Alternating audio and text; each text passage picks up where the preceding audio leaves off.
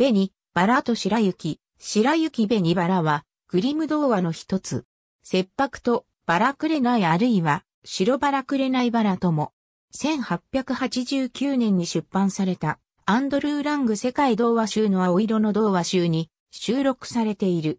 倒木に髭を挟まれて困り果てる小人ある家の庭には二本のバラの木が生えていた。一方は白い花をつけ、もう一方は赤い花をつけていたので、その家に暮らす二人の娘はそれぞれ、白雪と紅、バラと名付けられた。貧しいながらも、姉妹は母親と共に幸せな生活を送っていた。ある夜、誰かが家の戸をノックしたため、母は紅バラにドアを開けるよう命じた。すると、大きな熊がドアに頭を打ちつけていた。皆がパニックに陥る中、熊は、私はあなたたちを襲うつもりはありません。寒いので、ちょっと暖かくしていただきたいと思い、あなたたちのもとを訪れましたと言った。母は熊を中に入れ、姉妹に怖がる必要がないと言った。姉妹と熊は仲良くなり、それ以来熊も毎日その一家のもとを訪れるようになった。春になった時、熊は森にある宝物を邪悪な小人から守るために、一家の元を離れなくてはならないと姉妹に告げた。家を出ようとした熊の毛皮が、コート掛けに引っかかり、一瞬金色の何かが光るのを、白雪は目にした。それから少しして、姉妹が薬草を取りに行くと、小人が倒木に髭を挟まれて、悪戦苦闘している場面に遭遇した。小人は、横暴な態度で助けを求め、姉妹は髭を引き抜こうとしたが、うまくいかず、結局白雪がハサミで髭を切った。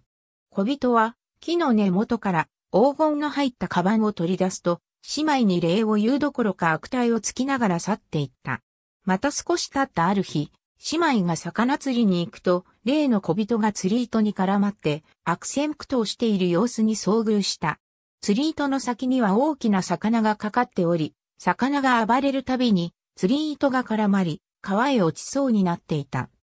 姉妹は釣り糸をほどこうとしたが、うまくいかず、結局姉妹がハサミで髭を切った。小人は悪態をついた後、草陰から真珠の入った袋を手にどこかへ去っていった。その出来事から少しして、姉妹が買い物へ行く途中、例の小人が鳥にさらわれそうになっている場面に遭遇した。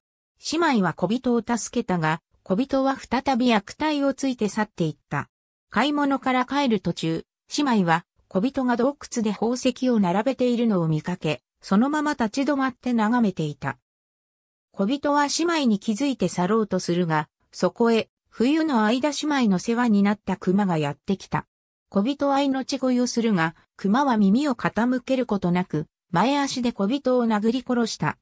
姉妹は恐怖のあまり逃げ出そうとしたが、怖がることはないという声が、後ろからした。振り向くと、熊の毛皮が取れ、金髪の美青年がそこに立っていた。